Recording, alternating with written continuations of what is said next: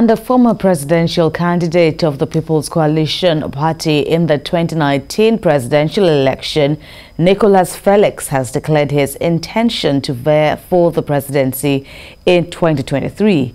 He disclosed this uh, at a media parley in Ikeja, Lagos.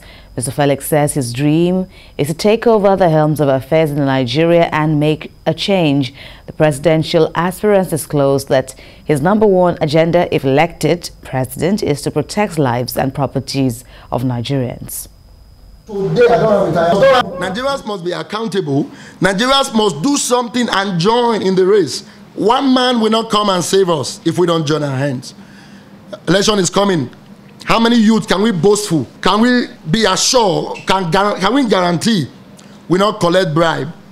How many professors who are going to be counting the vote, who are going to be collecting the vote, can we guarantee we not change figures before it gets to the to INEC office? So we must all join hands as Nigerians to solve this problem. Security will be able to fix the economic uh, economical problem. Do you know how many people who don't want to come back to their country?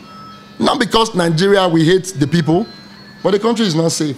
So we must fix this so that the narrative that will be going on in foreign countries will be a new sheriff.